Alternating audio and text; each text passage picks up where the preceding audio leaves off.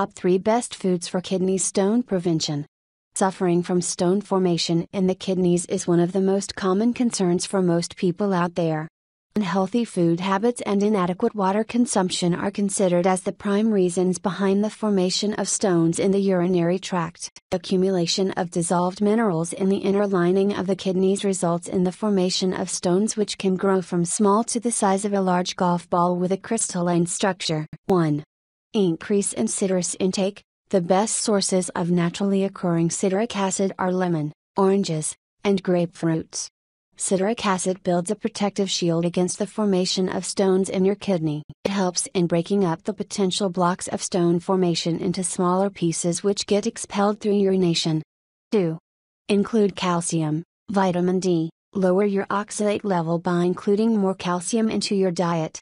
It is always advisable by the health experts to extract calcium from natural sources rather than from the supplements. Milk, cheese, and yogurt are considered as the prime sources to obtain calcium. Apart from these, dark green vegetables, nuts, seeds, and legumes are also the rich source of calcium.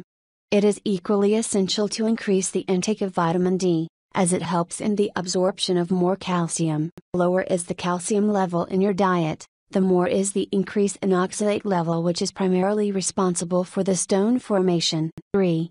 Watery fruits and vegetables. Though drinking sufficient water and healthy fluids are advisable to prevent stones formation, the consumption of watery fruits and vegetables are prescribed by the physicians to get rid of stones. Inclusion of watery fruits and vegetables like watermelon, raspberries, oranges, cucumber, and pineapple help in keeping the body well hydrated, thus reducing the possibility of stone formation in the kidneys and urinary tract. Yeah.